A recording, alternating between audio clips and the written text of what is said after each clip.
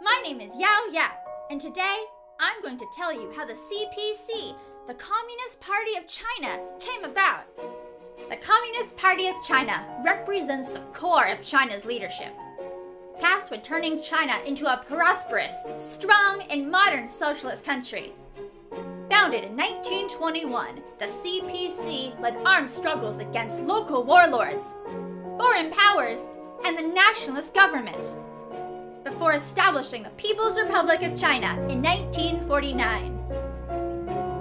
Over the next 30 years, the CPC rebuilt the country and its economy, laying a foundation for China's modernization. But not without serious mistakes along the way, such as the Cultural Revolution, 1966 to 1976. In 1978, Deng Xiaoping's reform and opening up policy was adopted, bringing about fast economic and social development. Since then, China has adhered to what has become known as socialism with Chinese characteristics. From a small group of 58 members to nearly 90 million members, the CPC has come a long way.